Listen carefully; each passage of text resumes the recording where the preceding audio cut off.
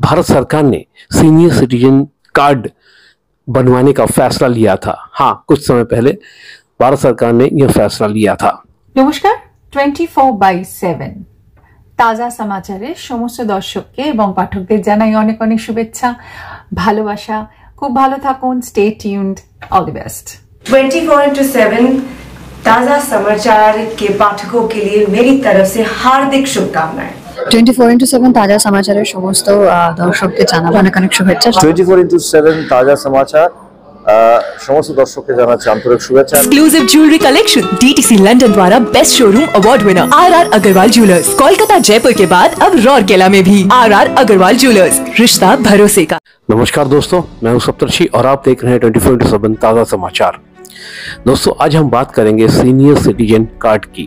देश में वयस्क नागरिकों की बढ़ती हुई जनसंख्या को देखते हुए भारत सरकार ने सीनियर सिटीजन कार्ड बनवाने का फैसला लिया था। हाँ कुछ समय पहले भारत सरकार ने यह फैसला लिया था।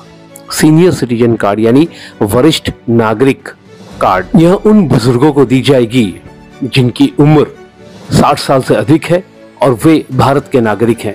जी हाँ राज्य सरकार ने भी यह फैसला लिया है। और यह कार्ड उनके आधिकारिक वेबसाइट पर जाकर बनवाया जा सकता है। अब हम बात करेंगे इसके फ़ायदे की।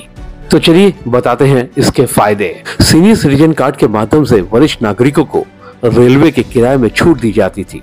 लेकिन अभी इस रियायत को बंद कर दिया गया है। हालाँकि, अभी भी अलग से टिकट काउंटर मुहैया कराया जाता है। इस कार्ड के माध्यम से सीनियर सिटीजन को हवाई यात्रा के टिकट में भी छूट दी जाती है। अन्य लोगों की तुलना में सीनियर सिटीजन कार्ड के माध्यम से इनकम टैक्स कम लगता है। साथ ही कई मामलों में रिटर्न भरने से छूट मिलती है।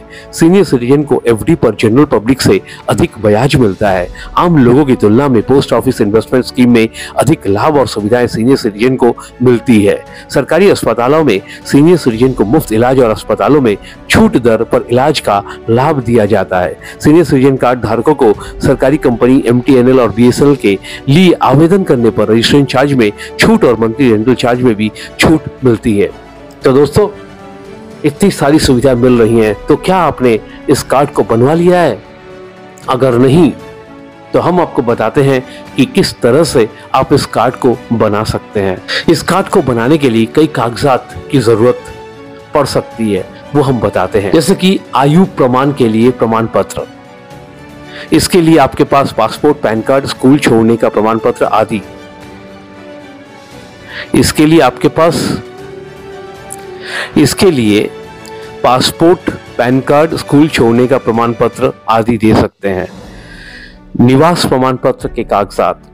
इसमें वैध दस्तावेज़ जैसे ration card, passport, election card, बिजली या फ़ोन का बिल, जो भी आवेदक के नाम से है, वो दिया जा सकता है। मेडिकल सूचना पत्र, इसमें ब्लड रिपोर्ट, दवा और एलर्जी की रिपोर्ट देनी होती है। पासपोर्ट साइज़ फ़ोटो, इसके अलावा संबंधित रिश्तेदार का मोबाइल नंबर। अगर आप इतने इतने सारे कागजात अगर आप दे सकते हैं तो आसानी से आपका यह कार्ड पंद्रह दिनों में बनकर आपके घर तक पहुँच जाएगा। और आप कई सारी सुविधाओं का लाभ उठा सकते हैं। यानी सरकार द्वारा दी जा रही सुविधाओं का लाभ उठा सकते हैं। अब हम बताते हैं कि किस तरीके से आप सीनियर सिटीजन कार्ड के लिए अप्लाई कर सकते हैं। इसके लिए आपको सरकारी वेबसाइट, यानी आप जिस राज्य में हैं तो उस राज्य की आधिकारिक वेबसाइट पर आप जा सकते हैं। जैसे ही आप इस साइट पर जाते हैं, आपको न्यू रजिस्ट्रेशन का ऑप्शन मिलेगा। आप वहाँ पे जाएँ और एक फॉर्म आपको दिखे, दिखाई देगा, जो स्क्रीन पर दिखाई दे रही है। उस फॉर्म को आप भरें और उसे ऑनलाइन सबमिट कर दें। पंद्रह दिनों के भीतर यह कार्ड आपके घर तक पहुँच जाएगा। इसके अलावा हम आपको दो टोल फ्री नंबर स्क्रीन पर मुहैया करवा रहे हैं। स्क्रीन पर इन दो नंबरों पर भी आप फ़ोन करके पता लगा सकते हैं। स्क्रीन पर ये नंबर आपको दिख रहा होगा। तो दोस्तों, ये थी आज की वीडियो। फिर मिलेंगे अगले किसी वीडियो पे। और अगर आपको कोई भी सुझाव देनी है तो आप हमारे कमेंट सेक्शन पर आकर कमेंट कर सकते हैं। शुक्रिया। पर मिलते हैं। Exclusive jewellery collection DTC London द्वारा best showroom award winner R R Agarwal jewellers Kolkata Jaipur के बाद अब रौरकेला में भी आर आर अग्रवाल ज्वेलर्स रिश्ता भरोसे का। I am योरुणिमा twenty four is to seven ताज़ा समाचार সকলকে জানাই অনেক অনেক ভালোবাসা দেখতে থাকুন exclusive jewellery collection DTC London द्वारा best showroom award winner R R Agarwal jewellers Kolkata Jaipur के बाद अब रौरकेला में भी आर आर अग्रवाल ज्वेलर्स रिश्ता भरोसे का টোয়েন্টি ফোর ইন্টু সেভেন তাজা সমাচারের সকল দর্শকদেরকে আমার পক্ষ থেকে অনেক অনেক শুভেচ্ছা